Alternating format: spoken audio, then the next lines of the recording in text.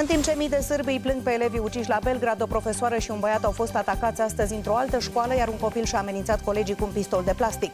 La noi în țară devine obligatorie grupa mijlocie la grădiniță, deși nu sunt suficiente locuri în raport cu cererea. Iar înaintea încoronării de sâmbătă, regele Charles al III-lea a avut invitați în grădina Palatului Buckingham. Este o tradiție de pe vremea reginei Victoria. Andreea Esca vă prezintă știrile ProTV. Bună seara și bun găsit la știri. Sunt ore de jale și furie în Serbia vecină după masacrul comis de un băiat de 13 ani într-o școală bună din Belgrad. Oamenii s-au strâns cu miile în locul unde Costas, un elev model până acum, și-a împușcat mortal 8 colegi, dar și pe paznic. Părinții disperați cer oprirea violenței, dar și protecție la cursuri. Adolescentul capabil de atâtea atrocități a devenit între timp cel mai sângeros criminal minor din istorie. Înfiorător este că Serbia a fost guduită astăzi de incidente similare. O profesoară și un adolescent au fost răniți de o fostă elevă, un băiat și-a amenințat colegii cu un pistol pistol de plastic, iar pe rețelele sociale asasinul de ieri este văzut ca un idol. Ministerul de Interne român promite să prevină un val de violențe la noi.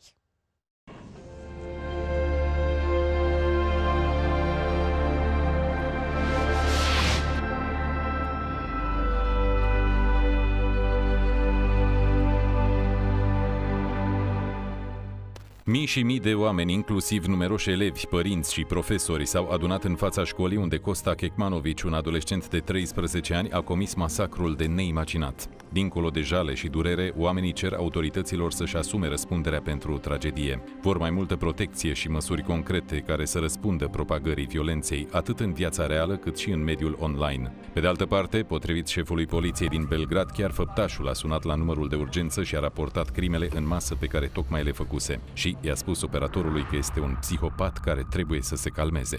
Ubili su, bila je dežurna, bila je sretna, bila je dežurna i dole sa ovim što je ubio ovog čoveka i onda je, onda je ovaj pucao u moj u Anu verovatno. Čim se nije javljala, ja sam zvala, znači da je gotovo. Costa și-a ucis 8 colegi care aveau între 7 și 15 ani. L-a executat și pe pasnicul școlii, considerat acum un erou de elevii care l-au iubit și i-au adus un omagiu în locul în care și-a pierdut viața. Printre copiii secerați de gloanțe se află și fetița de 13 ani a antrenorului echipei de volei SCM Zalău Dragan Kobiljski. Antrenorul era în România când a avut loc tragedia și, după ce a primit vestea, a mers în lacrimi la școala din centrul Belgradului. A fost surprins în timp ce își jelea copila. Tragedia foarte mare, copii nevinovați. E, da, e șoc mare. Uh, el are două, două fetițe. Uh, Fetița asta e mai mare. Am luat o decizie să facem deplasarea cu toată echipa și cu tot stafful, inclusiv din conducerea clubului, cum spuneam mai înainte. Vom merge cu toții la Belgrad să fim alături de el pentru a ne arăta întreaga compasiune și să-l sprijinim așa cum putem. Dečak je ušao na ulaz i krenuo da puca dežurne i obezbeđenje. And what did you do? Aj, krenuo sam se penjem gore i krenuo sam se penjem gonj, gore gde su otišli pedagog, direktorka i jedan nastavnik. Do you know the shooter? Uh, yes, I know him. Did you imagine that he can do something like Da this? si predvide da on mali govnar može to da uradi. Ne, on je baš dobar u školi, odličan je Vukovac i to. Toți îl știau pe Costa ca pe un copil sârguincios, talentat, politicos, care a câștigat numeroase concursuri. La școală era numit însă tocilar. Was it on social? Uh, he wasn't, he wasn't. He was, uh, he was, uh, he wasn't very social. Didn't have many friends, no. La percheziția de acasă, anchetatorii au găsit două hârtii scrise de mână pe care băiatul notase pe cine și cum plănuia să ucidă. Faptul că lista a fost prezentată în conferința de presă a poliției a stârnit însă indignare în Serbia. Ono što sam vi, čuo i video ovde ujutru i što mi je dete rekao. Koje je lično pogledao je u oči i kaže pucao je na drugu stranu, nije u mene. Ma da, jedino što je u šoku sad kad je saznala koje se... Znate, trebalo je 6. maja da pravimo rođendan. Și totuși, ce l-a determinat pe un copil de doar 13 ani să-și asasineze cu sânge rece colegii? Se simțea exclus din societate, nimeni nu a vrut să-l accepte și astfel a decis să comită acest act monstruos, a răspuns șeful poliției din Belgrad. Anchetatorii susțin că băiatul a tras 57 de gloanțe în câteva minute. Avea două pistoale pe care le luase din seiful în care le ținea tatăl lui. Pregătise și patru cocktailuri Molotov.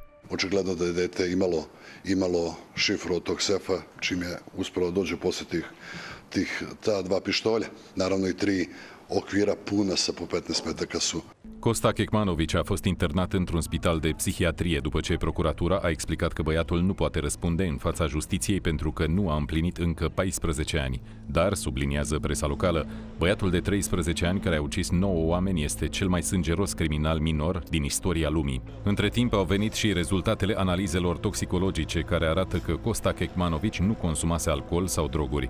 Ambii părinți au fost arestați. Tatăl este un cunoscut medic radiolog, iar mama profesor universitar de microbiologie. Tatăl este cel care și-a dus fiul la un poligon de tir de mai multe ori în ultima vreme, a precizat poliția. Pe de altă parte, astăzi, într-o altă școală din Belgrad, o fostă elevă a intrat cu o armă albă și a atacat un adolescent de 15 ani, dar și pe profesoara care a încercat să intervină. De această dată, victimele nu au fost grav rănite. Iar la o a treia unitate de învățământ, imediat după momentul de reculegere pentru victimele lui Costa Kekmanovic, un copil a scos un pistol de plastic și l-a îndreptat înspre colegi. Tatăl lui a fost reținut.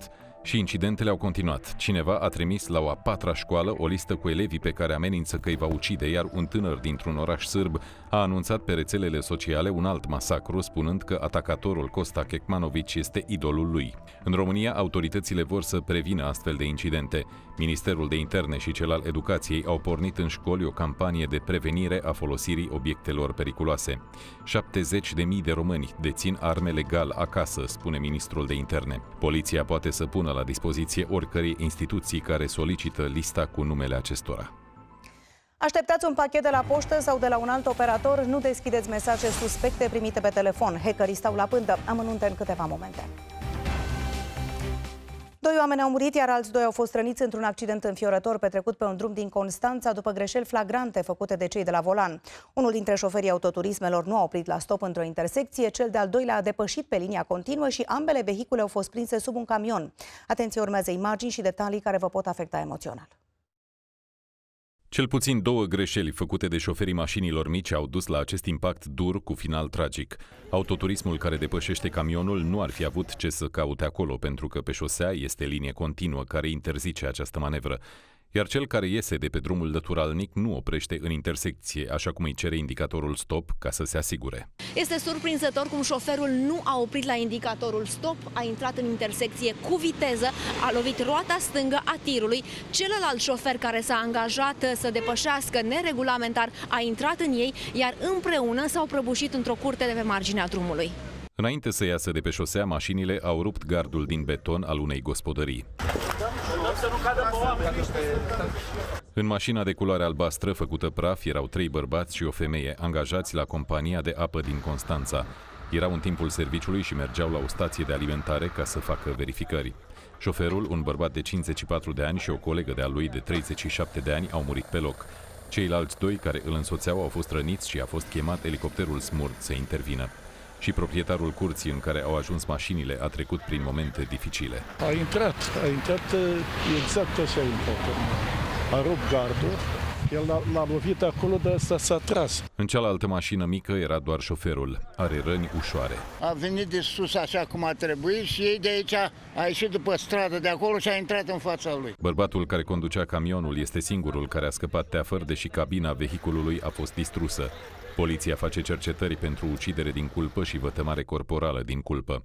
Niciunul dintre șoferii care au supraviețuit accidentului nu era băut. O anchetă face și Inspectoratul de Muncă. Verificăm dacă mijloacele de transport uh, sunt verificate din punct de vedere tehnic, dacă persoanele uh, care șofau erau instruite, dacă aveau capacitatea corespunzătoare. Reprezentanții companiei de apă unde erau angajați, cei care și-au pierdut viața în accident, au anunțat că vor ajuta familiile îndoliate. Continuăm cu o poveste scandaloasă petrecută la Craiova, unde un profesor de sport de la un liceu din oraș a fost reținut pentru proxenetism. Bărbatul, un fost top model în vârstă de 35 de ani, ar fi folosit, spun anchetatorii, metoda Loverboy și ar fi reușit să convingă patru tinere să practice prostituția în țări din vestul Europei. Individul ar fi câștigat astfel peste 70.000 de euro. Profesorul care este căsătorit a fost luat în vizor după ce o tânără a reclamat că o obliga să îi trimită lunar diverse sume. Potrivit unor surse din anchetă, ea a declarat că ar fi fost dusă la un motel din Germania unde se practica prostituția. La scurt timp, alte trei femei au depus plângeri. Acestea ar fi ajuns în Italia, Germania, Norvegia, Austria și Elveția. Vestea că un coleg de-al lor s-ar fi ocupat cu așa ceva i-a luat prin surprindere pe ceilalți profesori din liceu. Ne-am uh, intersectat de câteva ori pe la sala de sport. Nu ați auzit cum vorbiri nu, nu, care să... Nu, nu, nu v-a dat de bănuit? Niciodată. După ce anchetatorii au reușit să strângă dovezile necesare, profesorul a fost reținut. Victimele nu erau elevele lui. Bărbatul este bănuit că între 2013 și 2017, folosindu-se de metoda Loverboy, ar fi câștigat de pe urma victimelor sale aproximativ 70.000 de euro. Inculpatul a înlesnit practicarea prostituției de către patru persoane în împrejurări diferite și fără legătură între persoanele vătămate. Fapta inculpatului, întrunind elementele constituirea infracțiunii de proxenetism în formă continuată. Profesorul ar fi avut o viață dublă, spun apropiații. Chiar sunt șocată. Îl cunosc doar uh, de la școală nu a avut probleme cu dânsul. A obținut uh, anul precedent o notă peste 7 la examen de titularizare. Are cazierul judiciar și de asemenea certificatul de integritate comportamentală la dosar, toate fiind curate. Dacă se confirmă aceste acuzații, se va întrerupe contractul de muncă. Anchetatorii au ridicat din casa profesorului un calculator, un laptop, dar și telefoane mobile. Acesta a fost reținut inițial pentru 24 de ore. În fața magistraților și-a recunoscut faptele. Acum este cercetat în libertate. Bărbatul nu a putut fi contactat pentru a-și exprima un punct de vedere în legătură cu ancheta care îl vizează. Numele poștei române, dar și al altor companii de curierat sunt tot mai folosite de hackeri în campanii înșelătoare. Diversi oameni au primit pe telefoane mesaje care îndeamnă să acceseze o pagină de internet care seamănă cu cea a poștei române. Li se spune apoi că trebuie să-și dea din nou adresa, iar în final sunt sfătuiți să achite o sumă modică. Este și momentul în care cei naivi își introduc datele bancare. Această femeie din București a rămas în câteva minute fără 2000 de lei după ce și-a introdus datele cardului bancar pe o pagină falsă de internet, copie 1 la 1 cu cea a poștei române. Înainte, victima primise pe telefonul mobil un mesaj de pe un număr din România în care era informată că urmează să îi se livreze un colet, dar îi se spunea că adresa furnizată de ea este incorrectă. Apoi a fost îndemnată să acceseze un link care a dus-o pe o pagină controlată de hackeri. Eu așteptam în acel moment un colet de la Amazon. A plecat din Franța undeva în ianuarie. Din acest motiv am dat curs acestei solicitări și în final îmi spunea că trebuie să mai plătesc o taxă de 6,5 roni și am băgat cardul de salariu pe care aveam peste 5.000 de lei. Hackerii introduc apoi datele în diverse aplicații financiare și pot, din acel moment, să facă plăți online la terminale POS sau să scoată bani din bancomate fără a avea nevoie de PIN. În cazul acestei doamne, banii ar fi fost folosiți pentru o plată făcută într-un mall din Tokyo rămas fără bani. Da. Cele două plăți erau în valoare de 34.800 de ieni, adică în roni 1178 de lei. Poliția ne-a luat plângerea, a zis că sunt foarte multe plângeri asemănătoare. Diferența este în adresa linkului de sus. Niciodată nu o să fie HTTPS poșta minus română pe un domeniu. Întotdeauna o să fie alt domeniu. Deci, linkul oficial e https poșta-română.ro și aici deja vedem că e modificate http poșta-română.xmrc.com. Se vede din avion.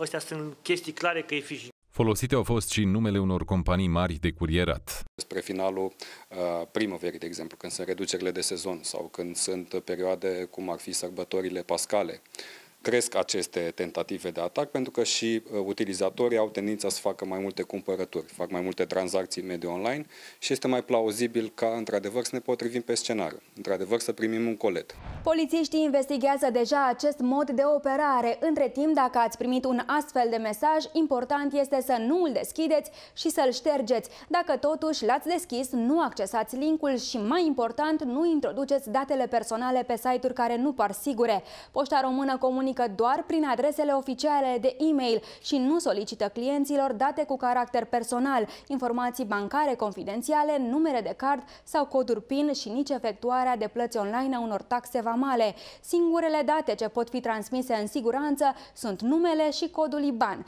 Cristina Dobre, ProTV. Cu un număr tot mai mare de cetățeni veniți din alte țări, proprietarii de locuințe de la noi ar trebui să se bucure ca au clienți. Și totuși, în mod ciudat, în ultimele luni lucrurile au stat exact pe dos. Pe site-urile de specialitate, unele anunțuri precizează că nu sunt acceptați străinii.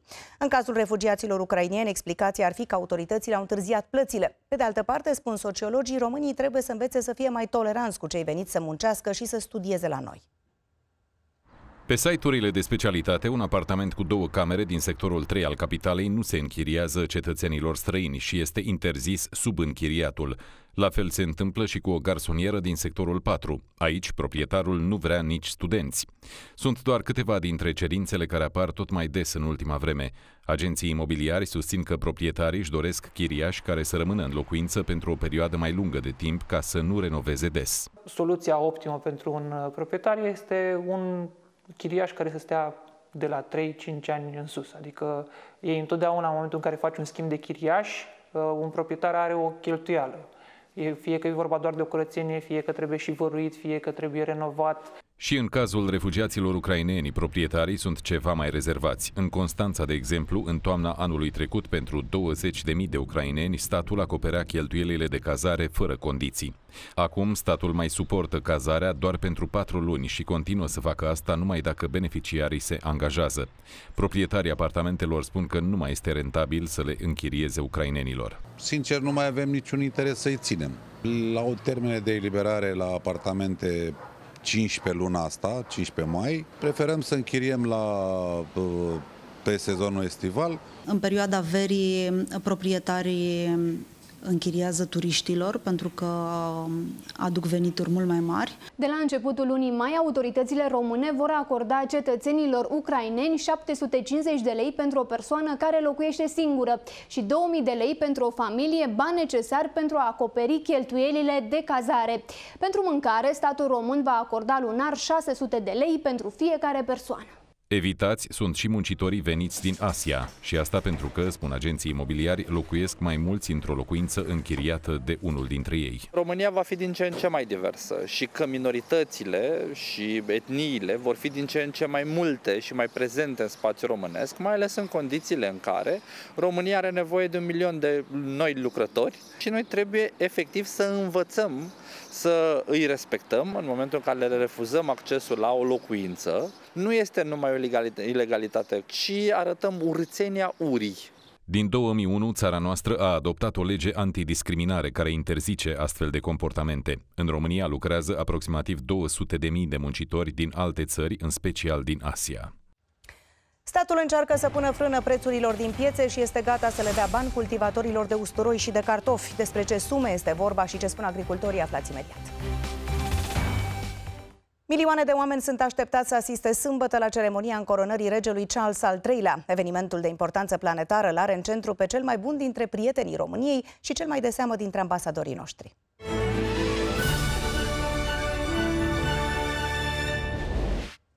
Pentru noul monarh va fi un weekend plin. Pe lângă evenimentul istoric vor urma numeroase petreceri de stradă și concerte. Vremea rea ar putea anula însă tocmai demonstrația aeriană de deasupra Palatului Buckingham. Sărbătoarea încoronării a început cu o petrecere în grădina Palatului Buckingham, cu monarhul și regina consoartă Camilla pe post de anfitrioni. Este o tradiție de pe vremea reginei Victoria și, în același timp, o premieră pentru monarhul care va fi încoronat sâmbătă. Milioane de oameni sunt așteptați să asiste de-a lungul traseului cortegiului regal. Cei mai înfocați susținători ai monarhiei deja campează în împrejurimile Palatului Buckingham. I'm camping out because it's once in a lifetime opportunity. I just love everything to do with the monarchy. Just like, why not? this is like a party in the street. I feel like this is a really cool time for people to come together and it's just gonna be fun, I think. Centrul Londrei a fost de asemenea împodobit cu tot felul de decorațiuni pe tema încoronării, cum ar fi o uriașă coroană și statuia monarhului făcută din piese Lego. Norii și ploaia amenință să umbrească ceremonia încoronării, mai ales în a doua parte a zilei. De aceea ar putea fi redusă, dacă nu chiar anulată, demonstrația aeriană cu peste 60 de aparate de zbor militare, inclusiv celebra formație de acrobație Red Arrows, care ar urma să survoleze Palatul Buckingham. Prințul William, moștenitorul coroanei, spune că are sentimentul că totul va fi perfect în ziua încoronării tatălui său. Good, good, thank you. If all goes well, good. Fingers crossed. Good weather as well. Yes, very excited. A spus prințul de Wales după ce a ieșit dintr-un pub însoțit de prințesa de Wales. A discutat cu clienții localului și a gustat din prima halbă de bere preparată special pentru festivitățile din weekend.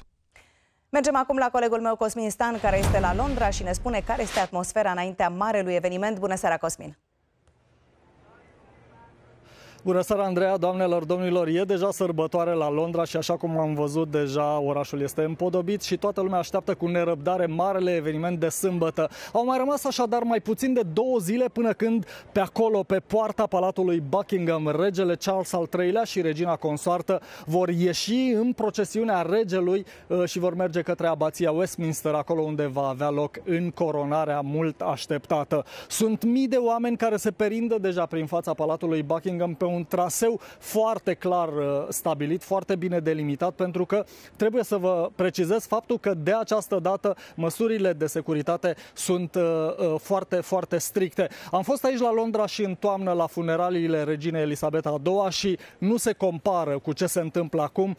Accesul este foarte, foarte restricționat. De altfel, cei mai mulți bani din cheltuiți pentru organizarea evenimentelor uh, din acest weekend se pare că s-au dus pentru măsurile de securitate care vor fi draconice. Sunt peste 11.000 de polițiști care vor fi pregătiți să intervină și vor supraveghea manifestările de la Londra de sâmbătă. De asemenea, vor fi mașini cu militari înarmați din loc în loc gata să intervină în caz de nevoie. Elicopterele vor survola capitala regatului și uh, se va folosi în premieră tehnologie pentru recunoașterea facială națională, uh, astfel încât uh, forțele de securitate să poată extrage foarte rapid uh, vreun individ care a fost recunoscut și ar avea intenții nu tocmai uh, uh, dintre cele mai bune. Uh, după cum vedeți, mii de oameni se perindă prin fața palatului de curiozitate pentru a vedea ce se întâmplă. Deocamdată mai sunt mici retușuri de făcut pe aici, dar oamenii vin și se fotografiază și speră că poate îl vor vedea și pe rege ieșind de aici de la palat. În fața palatului a fost construită și o tribună o tribună de 3800 de locuri este un semn uh, de apreciere din partea Casei Regale pentru veterani și pentru personalul din sistemul de sănătate. Pentru ei este rezervată această uh, tribună și așadar 3800 uh, de veterani și uh, de oameni care lucrează în domeniul medical se vor afla în această tribună sâmbătă pentru a urmări manifestările. Manifestări care au aprins și multe dezbateri, în primul rând în ceea ce privește costurile de organizare și se vorbește că acestea ar fi foarte mari, cuprinse între 56 până la 113 milioane de euro. Nu este clar și probabil că nu vom afla imediat cât uh, uh, au cheltuit uh, britanicii pentru această încoronare. Poate vom afla peste câteva luni sau chiar câțiva ani, dar experții au evaluat uh, la, aceste, la aceste sume. Pe de altă parte, susținătorii Casei Regale spun că evenimentul ar putea atrage foarte mulți bani pentru că foarte mulți turiști sunt așteptați să vină la Londra sâmbătă. Chiar sunt făcute unele estimări potrivit cărora în oraș se vor afla uh, în ziua încoronării uh, cu peste 30.000 de turiști străini, mai mulți decât într-o zi obișnuită, mai mulți decât în aceea zi a anului trecut, de pildă când erau doar vreo 40.000. Așadar, în acest weekend vor fi cel puțin 70.000 de vizitatori străini, despre care se estimează că vor cheltui peste 60 de milioane de lire sterline, foarte mulți bani așadar, dar uh, um, nemulțumirea publicului rămâne pentru că foarte mulți au acuzat Casa Regală uh, că, iată, cheltuie foarte mulți bani cu aceste evenimente în condițiile în care uh, Marea Britanie trece printr-o criză a costuri, costului de trai, a costurilor de trai, nivelul de trai este în continuă scădere, în vreme ce inflația se menține la peste 10%, iar asta atrage nemulțumirea celor care nu sunt de acord cu aceste manifestări. Noi suntem aici oricum și vă vom ține la curent în fiecare zi începând de astăzi uh, până sâmbătă când vom transmite în direct ceremoniile de încoronare de aici de la Londra. Atât deocamdată, la revedere!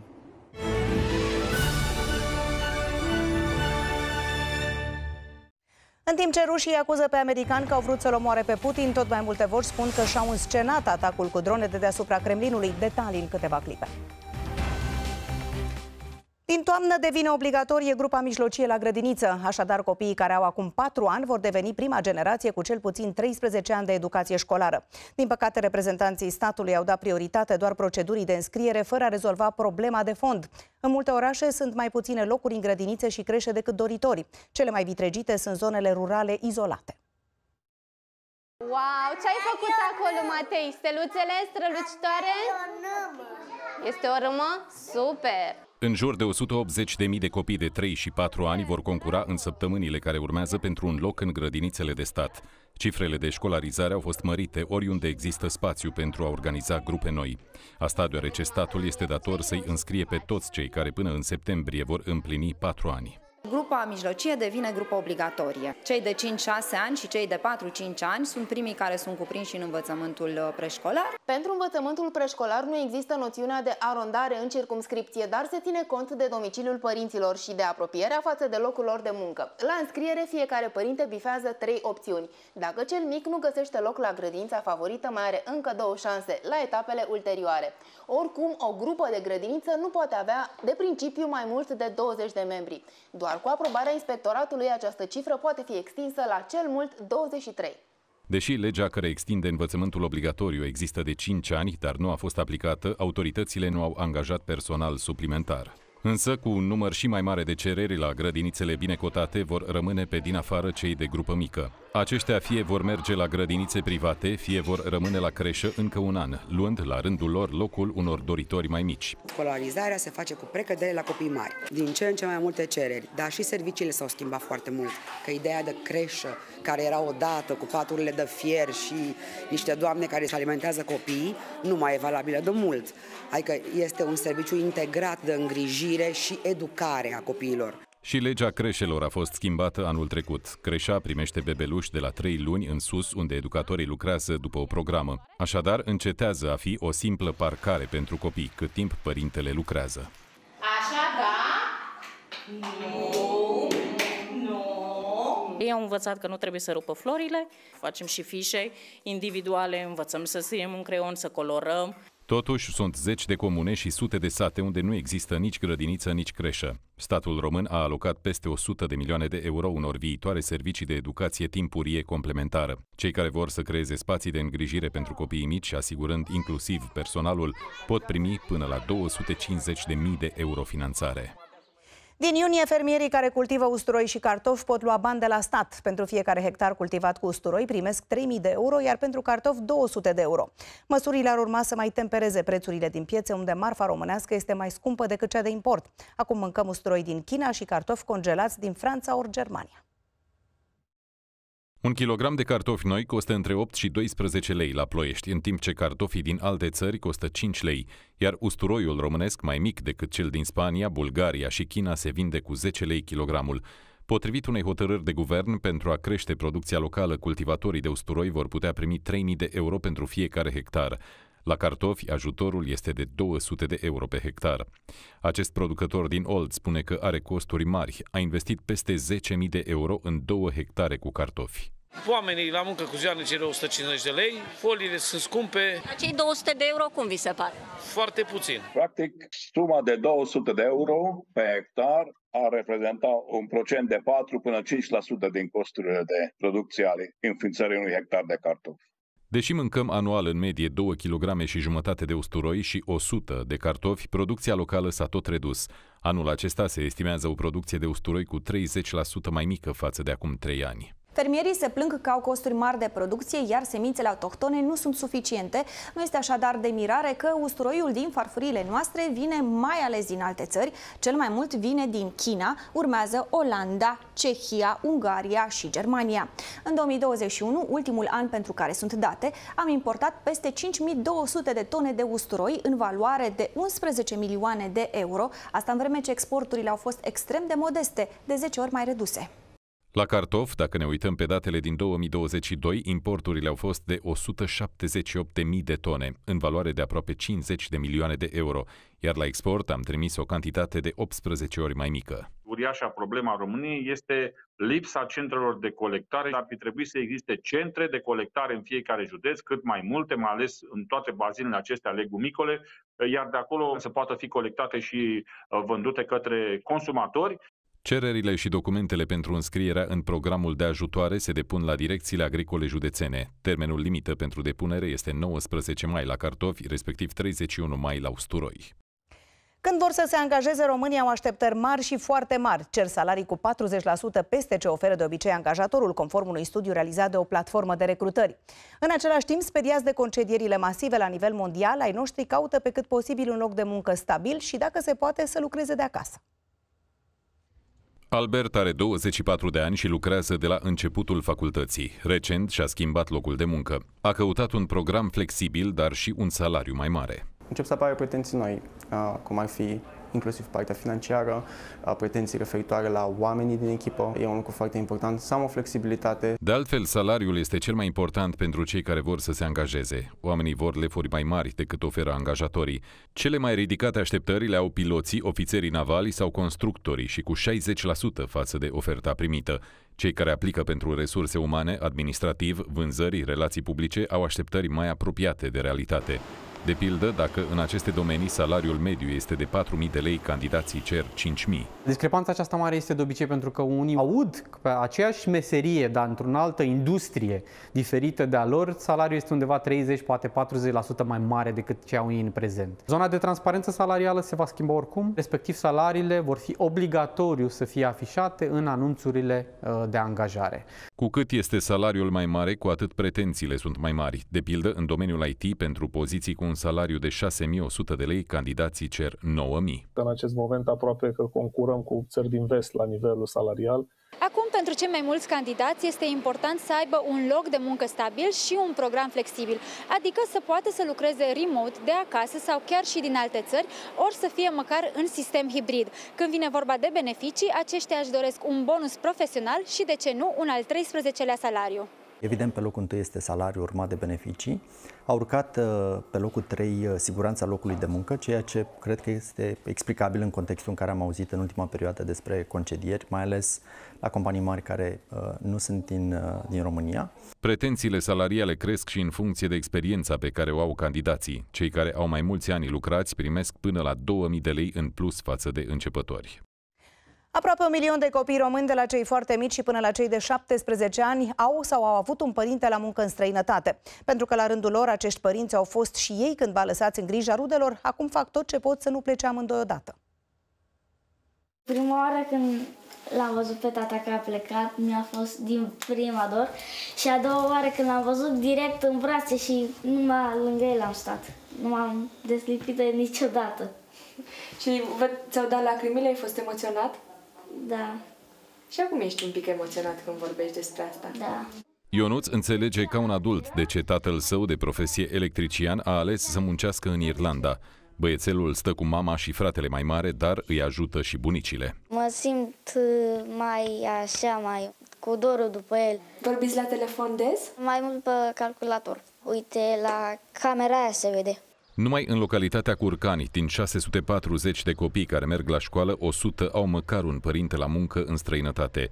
În 50% dintre cazuri sunt ambii plecați. Sunt mai închiși, sunt mai retrași și nu se implică așa de mult în toate activitățile care se fac în clasă. Avem noroc că în școala noastră există un consilier școlar, un psiholog, și ne poate susține în a manageria cumva situațiile astea puțin mai delicate. Dacă anii trecuți copiii rămâneau în grija bunicilor sau a rudelor, acum, în 61% dintre situații, pleacă tatăl.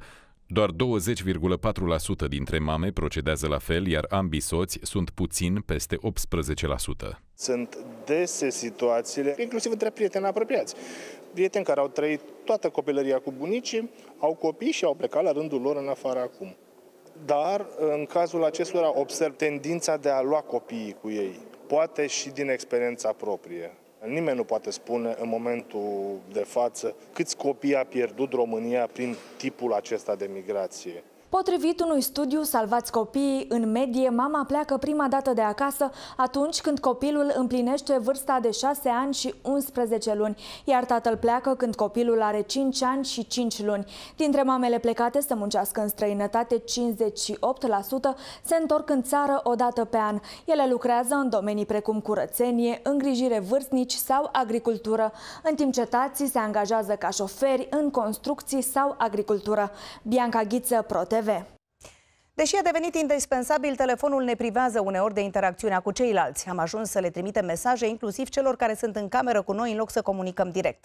Un studiu recent arată că față de acum 5 ani ne-am schimbat comportamentul digital. Nu ne mai facem atât de multe poze, dar vorbim cu apropiații prin apel video. Și desigur, comenzile și plățile online au devenit o normalitate.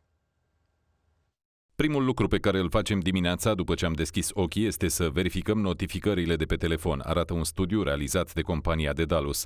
Iar 81% dintre cei intervievați au mărturisit că la toaletă își iau cel mai des telefonul. Pe de altă parte, deși stau sub același acoperiș, mulți uită să își vorbească. 61% preferă să își trimită mesaje.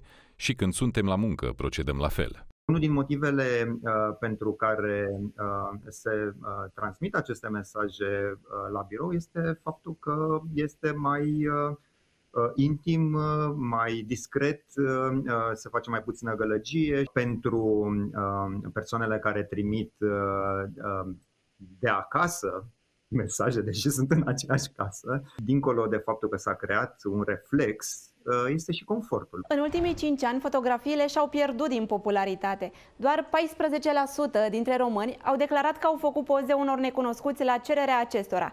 Se pare că nici selfie-urile nu mai sunt la modă, au fost detronate de filmările scurte, ușor de încărcat pe diverse rețele sociale. De asemenea, site-urile de întâlniri sunt din ce în ce mai puțin căutate, 8% versus 11% în 2018, iar dacă acum 5 ani procentul dintre femei și bărbați era aproape egal, în prezent cei care care le accesează sunt în general domnii. Le acordăm în schimb mai mult respect celor pe care îi întâlnim.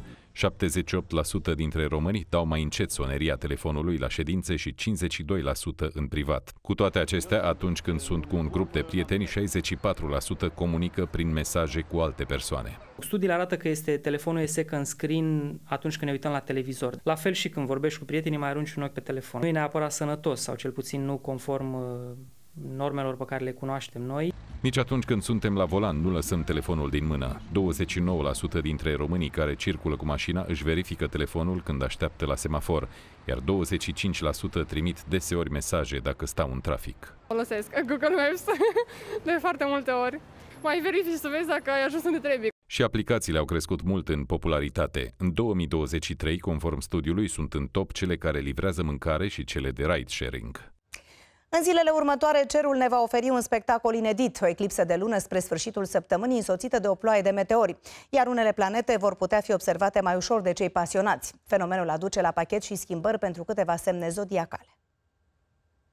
În cel mai bun caz am putea observa o ușoară, foarte slabă întunecare a lunii în partea de sus. Pe 5 mai, eclipsa va începe în jurul orei 18, când luna va fi sub linia orizontului. Momentul maxim va fi în jurul orelor 20 și 22, însă chiar și așa românii vor putea vedea fenomenul doar cu ajutorul unui telescop. Mai ales că nu vorbim de o eclipsă normală, de data aceasta luna va trece prin penumbra Pământului. Este o eclipsă de lună prin penumbră, ceea ce înseamnă că luna nu o să se întunece foarte mult, aproape că va fi insesizabilă întunecarea discului lunii. Deci cam asta e o eclipsă de lună prin penumbră. Acum, ne putem imagina că suntem pe lună. Dacă am fi pe lună, când e o eclipsă totală, cu luna intră în umbra Pământului, vedem cum Pământul trece peste Soare. Acum, dacă am fi pe lună, am vedea cum Pământul uh, acoperă Soarele, dar nu complet. De asemenea, în această perioadă, planetele Venus și Marte vor fi vizibile, în timp ce planeta Saturn va putea fi văzută începând cu ora 4 dimineața. Totodată, meteorii proveniți din coada cometei Halley vor putea fi observați în noaptea de sâmbătă spre duminică. Mișcările astrelor vor avea și efecte asupra noastră, spun cei care studiază semnele zodiacale. Vor fi afectați cei născuți în Scorpion și Taur. Ei trebuie să fie atenți la bunurile materiale și la relațiile cu cei din jurul lor. Eclipsa are loc în zodia Scorpionului și atunci toată axa Scorpion-Taur este direct afectată, dar vorbim despre o influență aici, în primul rând la nivel macro, vorbim despre o influență care are legătură cu banii, și cu materia în primul rând, să fim un pic mai atenți la bani, la ce facem cu ei, că e posibil să plece și să dispară mai repede decât e cazul. Uh, altfel, pentru fiecare zodie ar trebui să fie recomandarea de fapt de bază, este cea referitoare la răbdare și la da, adaptabilitate, pentru că Uranus ar putea să aducă niște surprize în plus. Să nu ne certăm cu oamenii, să, să păstrăm acea uh, energie de, de furie, să nu manifestăm, să, să lovim în stânga și în dreapta, să nu-i rănim pe ceilalți. Iată, uh, Leul Vărsătorul, Taurul și Scorpionul vor avea parte, dacă eliberează acele uh, emoții, dacă se eliberează de trecut, de noi începuturi, vor avea șansa de a începe de la zero. Următoarea eclipsă de lună va avea loc pe 28 octombrie anul acesta și va fi una parțială. În premieră pentru România, un liceu de stat va pregăti elevii pentru bacalaureatul internațional. Colegiul Andrei Șaguna din Brașov este aproape să obțină acreditarea care îi va permite să desfășoare cursuri și examene pentru obținerea acestei diplome valoroase. Bacalaureatul internațional le asigură liceenilor admiterea la unele facultăți care cer un nivel ridicat de competență la anumite materii. Maria este elevă la matematică informatică, dar ar vrea să urmeze jurnalismul la o universitate de top din Marea Britanie. Cu bacalaureatul național ar avea dificultăți la admitere. Pentru mine bacul național ar fi mate română sau ceva știință, care pentru jurnalism nu sunt cele mai bune variante și atunci Bacul Internațional poate să-mi dea această variantă de arte, de studii media. În condițiile în care uh, tu ai dori să studiezi, de exemplu, medicina în Germania, dau un exemplu, uh, obligația ta este să ai două examene de științe, ceea ce în România nu se poate. Programa bacalaureatului internațional le permite elevilor să aleagă șase discipline de studiu din câteva domenii, printre care matematică, științe, literatură universală, o limbă străină și arte. Taxa anuală de școlarizare este de cel puțin 5.000 de euro. Atât va percepe și colegiul Andrei Șaguna din Brașov dacă intră în sistem. Ar fi singurul liceu de stat din România care oferă bacalaureatul internațional. Într-adevăr, taxa de 5.000 de euro este o taxă destul de mare în cazul meu și ar fi un impediment, da. Pentru a primi acreditarea Organizației Bacalaureatului Internațional, o fundație educațională cu sediul la Geneva, liceul din Brașov a fost inspectat de mai multe ori. Nouă profesori au fost evaluați individual și doar ei pot preda materiile de studiu. Ultima etapă de verificare va avea loc în zilele următoare. Colegiul a fost nevoit să amenajeze inclusiv un loc special unde vor fi ținute subiectele de examen, o încăpere cu acces din biroul directorului, securizată cu grilaj, în care se află un singur dulap metalic prins în perete. Și lucrările respective vor ajunge uh, undeva în lumea largă, unde vor fi corectate internațional. Iar noi, bineînțeles, vom primi în același mod uh, lucrări uh, ale copiilor din alte țări. Pe parcursul celor doi ani de studii în clasele a 11 și a 12 elevii trebuie să facă voluntariat și practică și să-și aleagă o temă de cercetare pe care să o transpună la final într-un eseu de 4.000 de cuvinte. Ținta mea este America, deci da, aș opta pentru bacul acesta. Doar câteva școli private din România oferă în prezent posibilitatea susținerii bacalaureatului internațional. Kremlinul acuză Statele Unite că s-ar afla în spatele a ceea ce oficialii ruși susțin că a fost o tentativă de asasinare a lui Vladimir Putin. Totul după ce două presupuse drone au explodat deasupra Kremlinului. Este o minciună, a reacționat Casa Albă. La rândul lor, analiștii consideră că a fost doar o înscenare a Moscovei. Autoritățile ucrainene au instituit starea de urgență în regiunea Herson din sud, unde bombardamentele rusești continuă cu brutalitate de câteva zile. Bilanțul a trecut de 21 de morți și 10 de răniți după ce rachetele au lovit o gară, o benzinărie și un supermarket. Atacuri nocturne au fost raportate și în Zaporojie și Odessa, dar apărarea antiaeriană ucraineană a doborât 18 dintre cele 24 de drone kamikaze pe care Rusia le-a lansat înainte de răsăritul soarelui. De partea cealaltă pare să continue seria de atacuri ucrainene asupra depozitelor de carburant din spatele liniilor inamicului. Conform televiziunii ruse, patru drone cu explozibili au lovit aceste rezervoare aflate la o rafinărie din regiunea rusă Krasnodar, la granița cu Crimea. Între timp, președintele Zelenski a mers într-o vizită neașteptată în Olanda. La Haga a vizitat și sediul Curții Penale Internaționale, care investigează acuzațiile de crime de război comise de invadatorii ruși în Ucraina și a emis un mandat de arestare internațional pe numele lui Vladimir Putin. We all want to see different Vladimir here in The Hague. The one who deserves to be sentenced for these criminal actions right here in the capital of the international law. And I'm sure we will see that happen when we win. And we will win. Pe de altă parte, președintele Zelenski neagă ferm că Ucraina ar fi în spatele unui presupus atac cu două drone care au explodat deasupra cupolei Palatului Senatului de la Kremlin acum două nopți și care, acuză Moscova, ar fi fost nici mai mult, nici mai puțin decât un plan terorist de asasinare a președintelui Putin.